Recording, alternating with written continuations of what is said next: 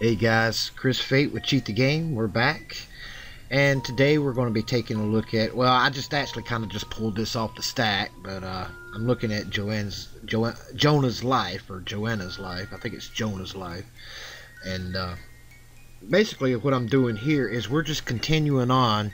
Uh, we're what we're trying to do is looking at code, seeing if we can understand what's going on in the code, so we can go ahead and write a, a script and maybe kind of shorten our scripts up. My good pal and mentor, Sneaky Mofo, he's gotten more into uh, just uh, defining bytes and do direct byte manipulations. If you can get away with it, it's the better route to take instead of writing these big long scripts. So what we're going to do here is we're just going to take a look at just a uh, just a regular cheat, see if we can understand what's going on in the code, and see if maybe there's something we can do to do a direct byte manipulation with it. And it's all about understanding uh, what the program or the function is doing and that's what we're going to be doing today so what I'm going to do is I'm going to bring this out and there's uh, a a specific thing in this game where uh, you could run and you have a breath and then he gets out of breath and then it just slows down to a crawl until he catches his breath back. So what we're going to do is we're going to see if we can find infinite run. But really what this is about is understanding uh, the code process of what's going on with it and how we can manipulate that. So stick around while we do that, okay? I'm going to go ahead and get into the game, bring Cheat Engine up, and uh, we'll go ahead and get started. I'm going to go ahead and pause it while I bring up everything.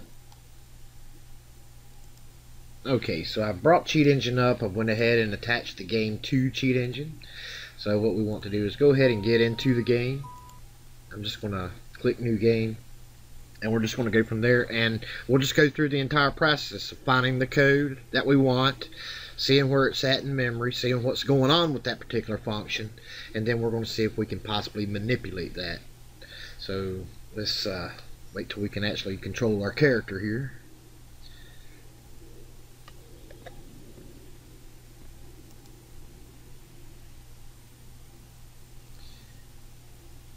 I think my version's a beta version, so it is a little buggy, as you can tell with the uh, graphics, uh, the flashing of the graphics and everything like that. Uh, that's not my video card or anything, that's the game itself. So, But like I say, I think I got a beta version of it, but uh, it's still a pretty good, pretty good little game so far. Uh, I like stuff like this. It's, it's uh, kind of like a horror mystery type game.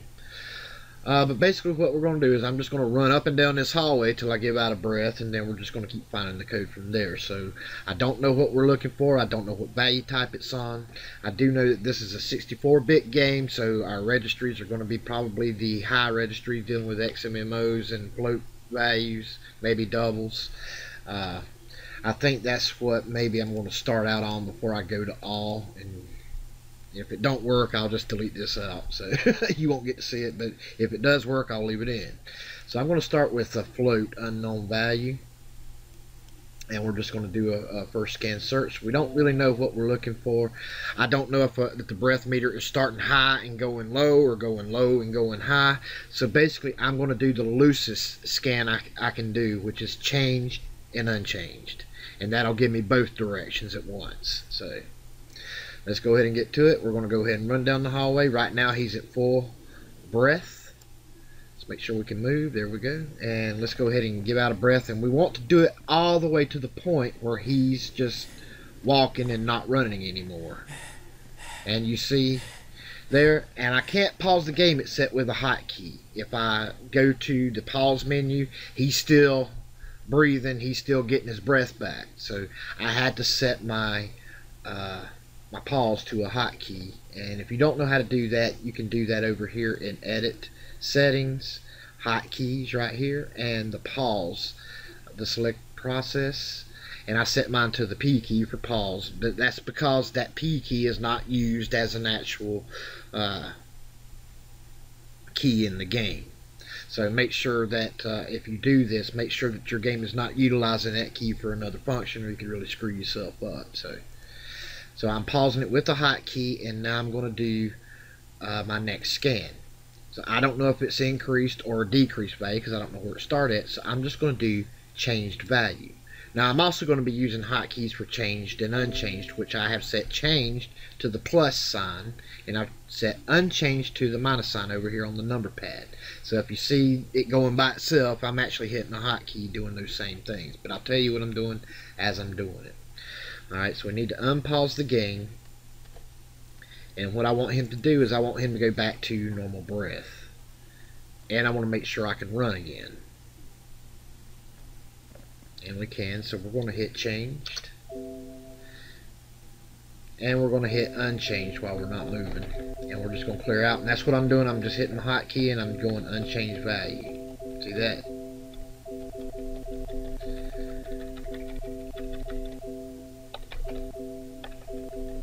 we see things just fluctuate and sometimes you want to kind of move around adjust the camera. You see how there's other things that change. So you want to get rid of any kind of camera codes you may have in there. You know jump around a little bit. Just you know just go to another room maybe. Just get rid of anything that has nothing to do with our run. So there we go. And that kind of speeds up the search maybe a little bit. So let's go ahead and give out a breath again and make sure our run goes to a to just a little crawl. And we're just sluggish now so we're going to go changed. And we need to unpause it. Now I could hit unchanged and pause but there's nothing moving while cheat engines paused it so it's not really going to do me any good. So I need to unpause it and let it go back to normal. And while it's back to normal I have to let him get his breath back and I have to make sure runs on if you notice we're still sluggish when we are in run mode, so I have to wait for run to come back. And once it does, now we can do changed. There we go. Now we can do unchanged value. You see now we're down about 34,000, so maybe a couple more times and we can start testing some stuff out. So let's go ahead and do that. And you notice it's just a lot of repetition. I'm finding these values. You, you just got to try different things. If you didn't find it the first time, don't get frustrated. Uh, sometimes it'll take you 10, 10 attempts to find what you're looking for. You just, you know, you just got to try different things. Just if you get tired of it and it's frustrating you, just set it to the side. Come back to it some other time, but don't don't ever give up because you will find it if you keep looking. And you know, try to think outside the box for something else that may also affect that. So we'll go to changed, and now we're going to hit unchanged value. And it's not going to do me any good because the game is paused. So let him get his breath back. And let's make sure we can run again. Yep, he's still sluggish, so we ain't got to run back yet. Okay, now I can run, so to hang there for a second and go changed. And we're down to 16, and we're going to clear some of that out. So hopefully we can get down to just a few in just a moment. Let me just kind of walk around a little bit. Just, now we're down to 3,000. We just kind of come down here. Just I'm not utilizing my run at all, which you got to hold down the shift key to utilize run. I'm just walking, so it's not affecting my run, so that value should be unhindered. So we're down to 2,000. So about 2,099, so let's do it again. And the reason I show this process, because this is a major part. Every single code that you want to find has to start here. Now you can do it other ways, like going into the game files, you know, with other programs and uh, decompiling it, and, and, there's all kind of techniques you can use to find values and things like that. It's not written in stone that you got to do it exactly this way, but for our purposes here, this is the way we're doing it. But you always got to start by finding that value, regardless of, of how you do it. This is always the first step of any cheat, okay? It's got to be found. So we're going to go ahead and it's change value. We're down to 368. Now we're down to a, a decent number where we can kind of sniff around and look around and see if we can you know, find something that makes a little sense to us. So let's unpause it. Let him get his breath back. I don't see anything counting up or down. I just see numbers changing. So I'm kind of looking for something that may be counting up or counting back down or something like that. He's getting his breath back. He's getting his run back. and he's got his run back so we're going to hit changed again and we're down to 255 so let's just kind of look around and the good thing about it the game still runs even when I alt tab out of it. So we can kind of look around and see if maybe something just stands out at us. A lot of times I'm looking for hundreds or zeros or something like that. Now sometimes you know with these bigger type games it could be like an offshoot like a something like this you know a decimal base you know but you know first try to get the obvious things first before you have to go trial and error a lot of these others because if you freeze the wrong thing you're going to crash your game and have to start all over again. So right now we just want to look for things that kind of make look like they make a little bit of sense and uh, that's what we're going to do. You know ones you know usually those could stand for flag top values maybe a flag's turning on and off uh, zero one or or one and another number uh, representing the flag being turned on or off when he's out of breath or when he has his breath back. So, you know, you want to kind of look for things like that too. Um, I kind of want to stay away from those decimals. There's another one right here.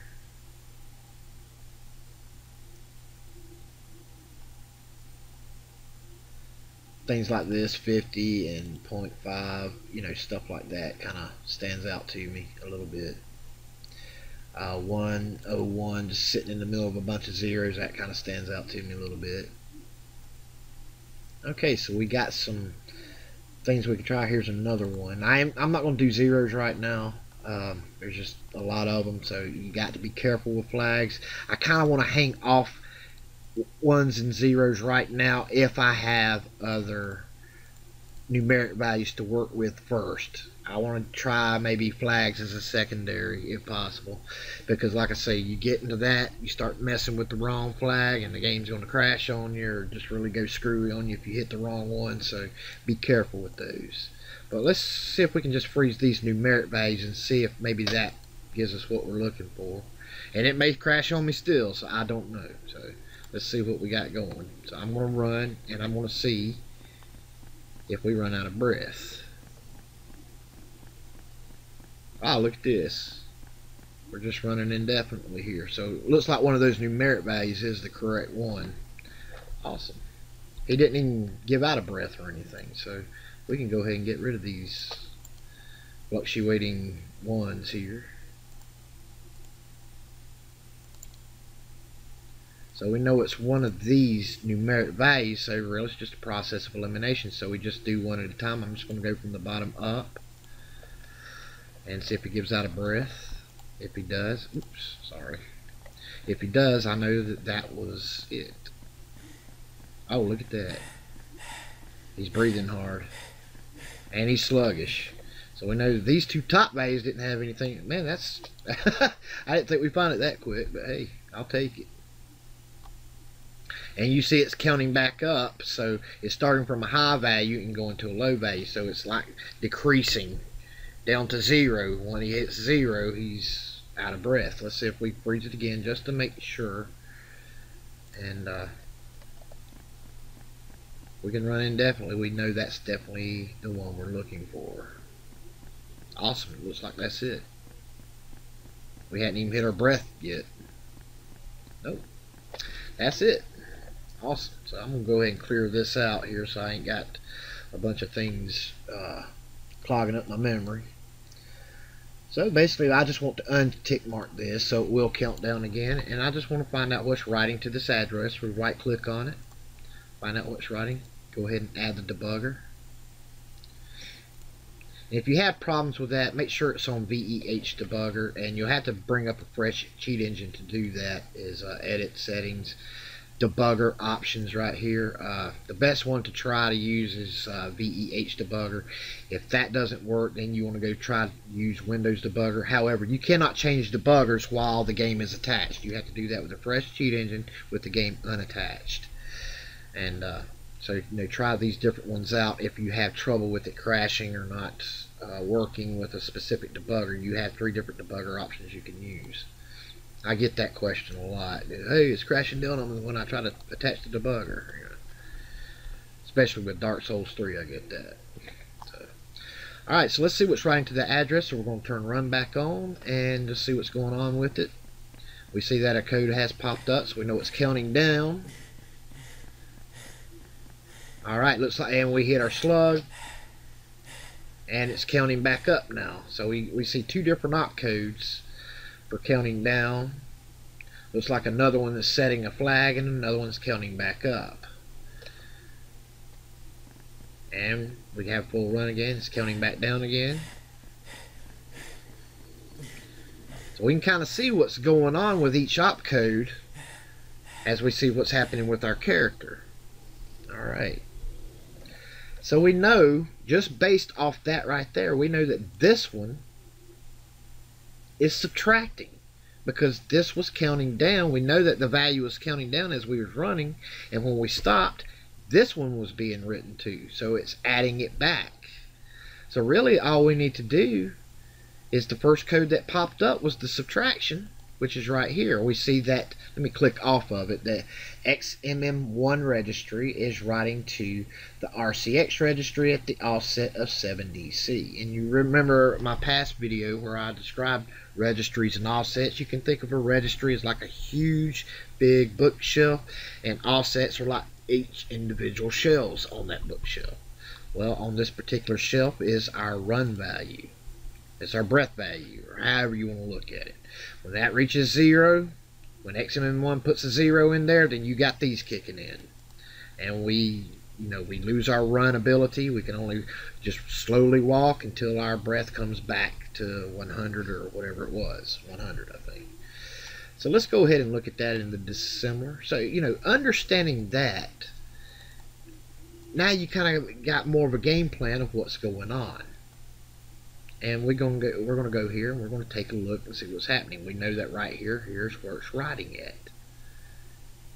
And you know, if we want, we can put a breakpoint on that. We can toggle a breakpoint, and it'll bring up more information for us. See what's going on with the stack, what's writing to it, what values are holding what. Let's do that. Let's start running, and and there it broke right there where it started subtracting and it brings up information for us right here of what's going on in these particular registries. You see the RCX registry right here. And like I say, it's a 64-bit game, so these addresses are going to be humongoid. So let's see what's going on in XMM1 registry, because we know that that's the registry that's writing to our offset 7DC. So let's see what's going on in there. So we match that little arrow and it brings up our uh, floating pointer uh, stack. So let's see, we see that now we're down to 97 and we see that most of the others are not really being utilized. We see some other things going on, but you know, I don't know what's really happening with that. We see that what's really going on over here, we want to go back up a little bit and see what's happening. We see that we go all the way up to a return and we see that this is where our function begins. This is where it starts subtracting till it hits that return. This is where it's subtracting. So let's go to the top and see if we know what's going on. It looks like it's moving in our value, that's the same registry with the same offset, into XMM1. That's the same one that's writing to that very same offset. So let's see what's happening with it. It's moving down to the next line and it's XORing XMM0 registries. That's the reason you see X XOR PS. That's uh, the command that you use to do the XMM registries because they're huge. They're huge 64-bit registries. We're not dealing with 32-bit, we're dealing with 64-bit. But it's doing the same function, and when you XOR two registries, two of the same registries, all it's doing is zeroing them out it's making XMM0. That's why we see XMM0 over here. It's using that for a compare. Because we see that in the very next line. A COMIS, that is a compare. A compare, and it's comparing two 64-bit registries, XMM registries. So we know that the value was moved into XMM1. We say we started at 100, so it moves 100 into XMM1. It zeroes out XMM0, then it wants to compare. XMM1 compared to 0, which is an XMM0. What's it want it to do? So, jump if it's not above. It's going to jump and skip over our subtraction if it's not above. Now we got to look at it. It starts at 100. Is 100 above 0? Yes, it is above. So it's going to bypass that jump if not above. It's going to subtract whatever's in this offset. I'm thinking maybe it's 1. And it's subtracting that. And then it's writing the new value into it. XMM1 is writing the new value. So it's subtracting. That's 100 right now. And then this is like the 1 and it's subtracting and moving that new value into 7DC and then it's hitting that return. It'll come back, move that new value, not 99, into XMM1, zeroes out XMM0, compares, is it still above zero? Yes it is, so it's going to keep subtracting. It's hitting that return all the way down till it gets to zero. Basically that means it's equal. Is it not above zero? No, it's not it's going to jump down here and it's going to go ahead and move the 0 into 7DC. It moves that 1 into 8B3 for whatever that's for, and it's going to jump to where it's going to start adding back our breath and run and whatever it does from there. So are you with me so far? So we need to decide how do we want to write our code. We can do this several ways. We can just change this to where it's always writing 100 in there. That seems like the most convenient way. But what does it start out at? It starts out at 100 and it writes it to MM1 then it goes down from there. So if we're not using our run or utilizing our run it's always 100 so why can't we just instead of having it subtract we could possibly just knock out the subtraction all the way just put a bunch of NOPs and it will still do the same thing. Or we can just change this to move 7DC into XMM1, which is always moving 100 into XMM1.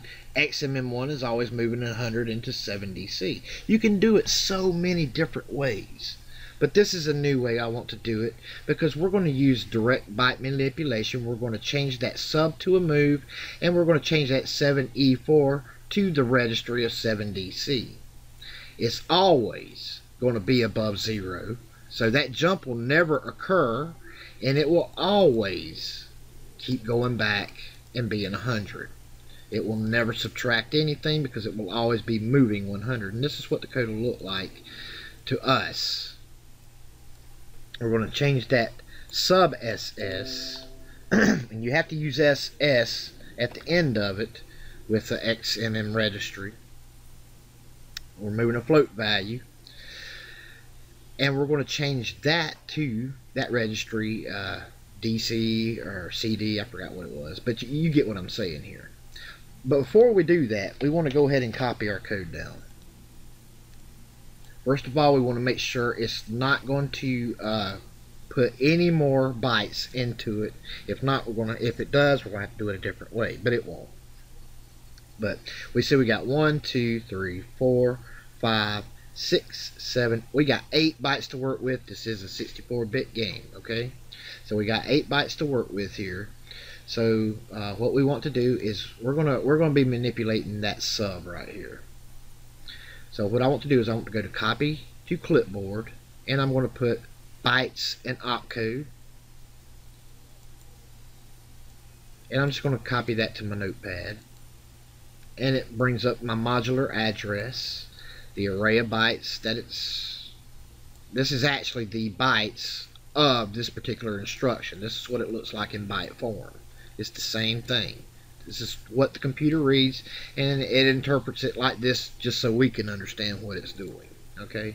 But this is what it's actually reading right here is these bytes. And we have to see what's going on with the bytes.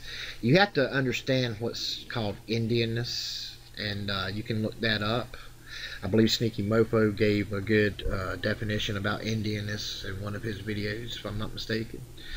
But you can see here all these zeros, one, and it's reading from right to left like this, okay? And it's reading this right here, and it's starting here. But that is those two zeros, and then the next two zeros right here, and then it hits that zero seven, zero seven right here, then it's hitting that E4 right here. So what do we want to change that to? We want to change that to where that 7DC, when it's at 100, it's always writing 100 to there. So all we have to do is change that to move 7DC. And this is what the bytes will look like if you do that. Does it change or does it add or take away bytes? Let's see. We're going to put move. And we're going to change that to 7DC.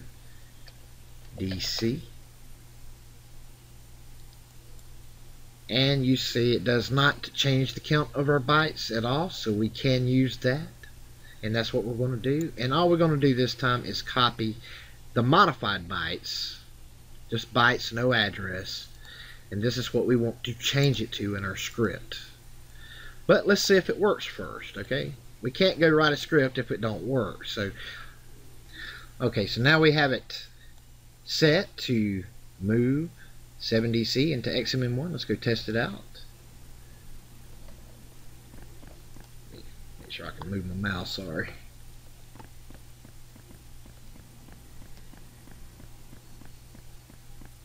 There we go, look. It's working. It's just constantly writing that 100 into that registry. So that's all we need to do let's go ahead and change it back to its original code. Let me go ahead and pause this. Alright, so I'm going to change that back to sub. Oh, 74, my bad. Well, that was about to screw up, wasn't it? There we go. That's why we always copy our stuff down. Don't forget stuff like that, Chris. Alright. So now he should lose his breath again, and he does. And we're back to regular. Very good. So now we can just go ahead and write our script. We're going to go ahead and bring up our auto assemble. We're not going to uh, be using any templates. We're just going to create our own because we got everything we need. And, you know, playing the game and bringing it back up, we know that these uh, modules stay the same. This module here and this offset, this address stays the same. So we can actually use just that. And I want to thank Sneaky Mofo for teaching me that. That has really helped me out tremendously in a lot of stuff. You can really learn a lot over there at that channel. So I'm going to put a link down there in the descriptions. Make sure you guys go check it out if you haven't been over there. Great stuff over on his channel let's go ahead and uh, what we're going to do is we're going to add that modular address. So it's going to go straight to that address in memory. And we want to go ahead and change that. We want to define the bytes.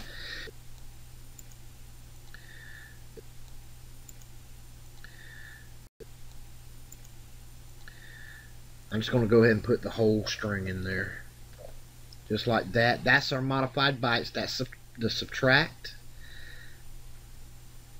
with the new excuse me I'm sorry with the new offset and what else changed? Oh 5C changed to 1 0 my bad. Okay there we go. So we're changing three different bytes. So that's basically why I'm just using the whole string because we're changing a couple of different things. Where am I? There we go. This right here is changed and these two bytes right here is changed. So that's what we wanted. So to change it back all we want to do is just go and declare those original bytes to that same address so we're going to declare bytes and this is when we switch it off and these are the normal bytes that's to subtract at the 74 offset right here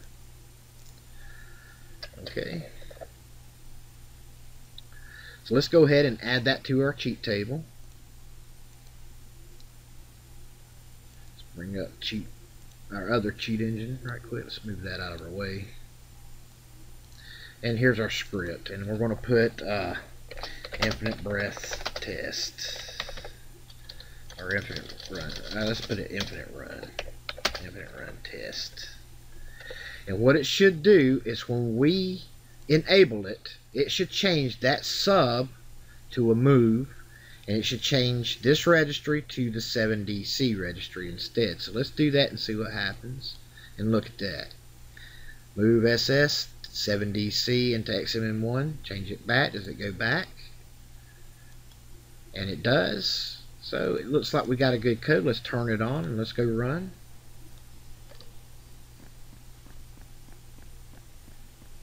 He's not running out of breath.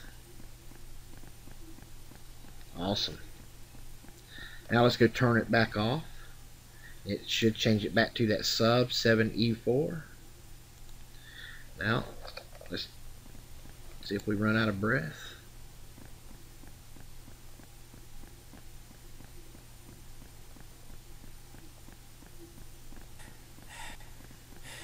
And he does.